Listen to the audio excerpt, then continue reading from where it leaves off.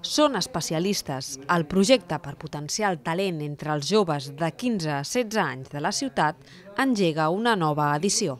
És un projecte pilot que es va iniciar eh, de manera experimental a Viladecans a través de, de la plataforma Aules Creatives, eh, que és una plataforma on treballen els artistes Miguel Gallardo i Hanuk Piven, dos artistes de prestigi, i on es fomenta eh, la creativitat i es dota de recursos als, al professorat perquè perquè fomentin aquesta creativitat a dintre de les aules. Precisament, Hanoch Piven ha estat l'encarregat d'impartir un taller formatiu amb objectes. Los eh, maestros tendrán la oportunidad de reflexionar un poco sobre los talentos que tienen en su aula y cómo crear un espacio educativo que nutre esos talentos.